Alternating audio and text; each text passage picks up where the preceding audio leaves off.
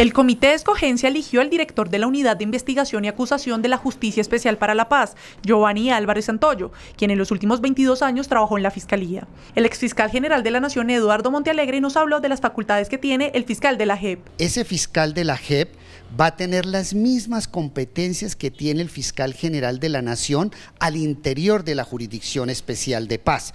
Es decir, es un fiscal que podrá dictar eh, bajo ciertas condiciones medidas de aseguramiento, capturas eh, y tendrá toda la capacidad de manejo de la Policía Judicial de la JEP. Montealegre también se refirió a lo que primero debe hacer Álvarez Santoyo al asumir como fiscal de la JEP. Una de las misiones más importantes es la de que tiene que conformar eh, su propio cuerpo de fiscales tienen que existir al menos 16 fiscales, van a tener la competencia para crear la policía judicial eh, que actúe y fundamentalmente va a tener la capacidad probatoria de la investigación de las violaciones masivas a los derechos humanos. Otras de las tareas de este nuevo fiscal será presentarle al Congreso un proyecto de ley en el que establezca sus competencias en materia penal.